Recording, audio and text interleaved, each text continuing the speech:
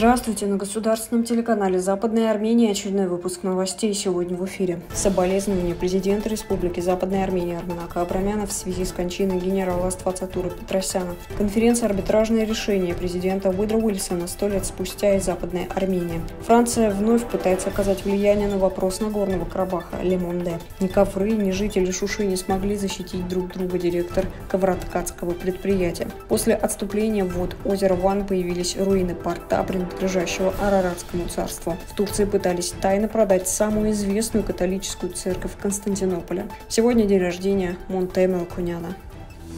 24 ноября от тяжелой болезни скончался генерал-майор Аствацатур Аветик Петросян, бывший заместитель министра обороны Республики Армения, первый заместитель председателя Союза добровольцев Еркрапа, главнокомандующий отрядом «Орел», председатель общественной организации «Отряд самоубийц Орлы». Президент Западной Армении Арманака Абрамян выразил соболезнования от имени всей Западной Армении и семьи генерала родным и военным товарищам.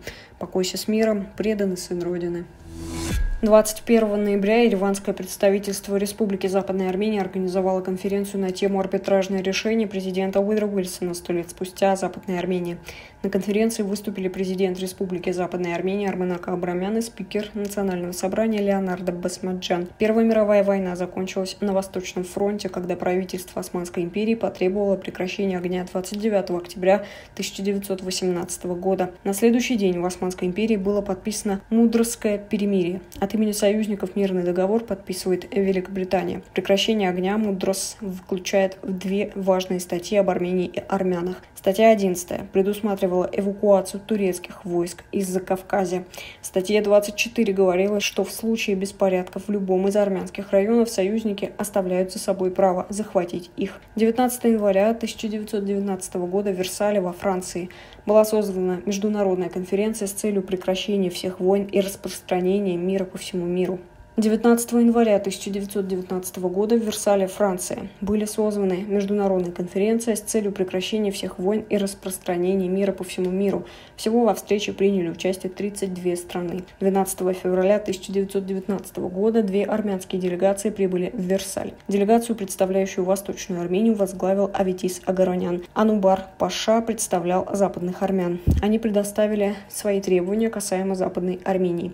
Территорию от Средиземного до Черного Черного моря Джавахка, Арцаха и Нахачевана. Услышав требования армянской страны, глава британской делегации Ллойд Джорд заявил армянской делегации, что армян недостаточно для заполнения необходимой площади. 28 июня 1919 года был подписан договор Лиги наций в рамках Версальского договора. Полный текст статьи доступен на нашем сайте. Франция вновь пытается повлиять на Нагорно-Карабахский вопрос. Эту статью опубликовал журналист Ле Monde Петр Смоляр. После 25 лет безуспешной дипломатии в конце сентября конфликт в Нагорном Карабахе внезапно разморозился. Затем, после шести недель столкновений между армянами и азербайджанцами, Ереван был вынужден сдаться. 9 ноября под эгидой России было подписано соглашение о прекращении огня. Пушки замолчали, но ничего не урегулировано. Итак, дипломаты снова взялись за дело, реабилитируя тот же формат – Минскую группу группу, который потерпел неудачу в прошлом. Франция, которая в течение нескольких месяцев осуждала насильственные атаки Анкары в различных кризисных зонах, не может положительно оценивать эту идею и рассматривает другие формулы для контроля за прекращением огня. Но как на это повлиять, задается вопросом журналист. Полный текст статьи доступен по следующей ссылке. Директор компании «Ковры Карабаха» Севак Хачатрян выразил свою озабоченность. Нам не удалось ничего вывести из Шуши. Никто не предполагал такого развития событий. Все армяне Арцаха, все армяне всегда считали Шуши одним из самых безопасных мест в Арцахе, неприступным городом-крепостью. Также у компании есть мастерские в Степанакерте и Чартаре. В этот момент работа там была парализована. Продажа арцахских ковров в Ереване в наши дни особенно востребована.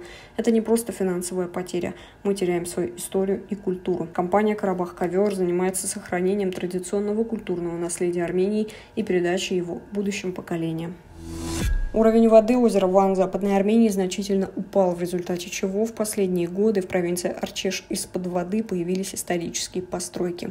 Оказывается, что последние руины, найденные в районе, которые служили портом во времена Араратского царства, датируются примерно 750 годами до нашей эры. Армяне, которые управляли морскими перевозками на озере Ван, построили разные порты в этом регионе. Один из этих портов известен как порт Деличай. Турции гражданин Себахатин Гук пытался продать иностранцам самую известную, самую большую католическую церковь Константинополя святого Антуана под поддельными документами. Согласно источнику, имя Себахатина Гока, который пытался продать святого Антуана в районе Баюглу, Константинополя, упоминается в 34 различных расследованиях. Издание упоминает, что Гок посетил США, Францию, Италию и другие страны, нашел наследника владельцев собственности этой церкви, попытался продать ее. Себахатин Гок был арестован. Следует отметить, что церковь святого Антуана была основана в начале XVIII века итальянской общиной Константинополя. Монте Мелконян родился 25 ноября 1957 года в городе Висейлия, штат Калифорния. Он был третьим ребенком семьи американцев армянского происхождения, переживших геноцид против армян Чарльза Мелконяна и Забель Мелконян. Родителям было суждено пережить сына, прославившего их семью. Монте Мелконян окончил университет Беркли по специальности археология и история Азии. Выбор профессии был обусловлен твердым намерением вернуться на Ближний Восток. Кроме армянского и английского, Мелконян владел семью языками – французским, испанским, итальянским, турецким, персидским, курдским и даже японским. Некоторое время он стажировался в Японии. В разгар гражданской войны в Ливане в 1978 году Монте Мелконян прибыл в Бейрут. Мелконян принял участие в обороне армянского квартала. Затем Мелконян стал бойцом армянского ополчения в Будж-Хамуде и в течение двух лет участвовал в уличных боях с фалангистами. Весной 1980 года Мелконян вступил в организацию «Асала». Монте Мелконян осуществлял операцию в Риме, Афинах и помогал в подготовке боевиков для осуществления операции «Ван» в сентябре 1981 года. В ноябре 1985 года Монте был арестован в Париже и приговорен к шести годам тюремного заключения за незаконное хранение оружия и подделку документов.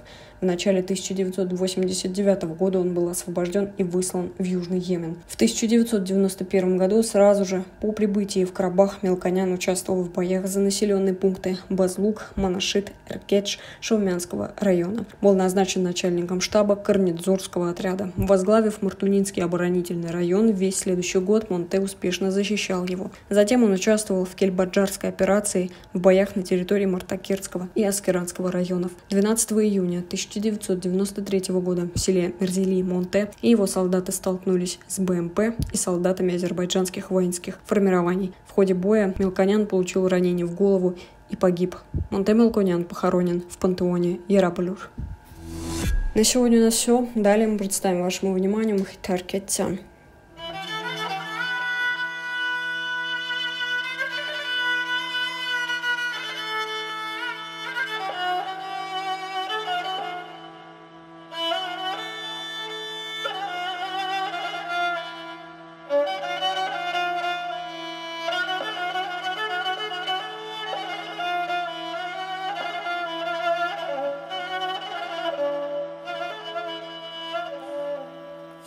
Ես խսիրեմ գործում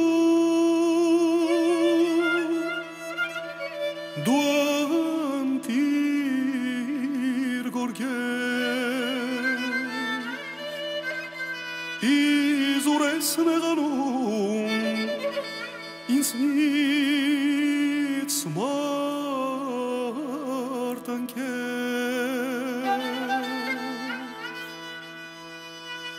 Полная версия видео представлена на официальном сайте телеканала Западной Армении. Оставайтесь с миром.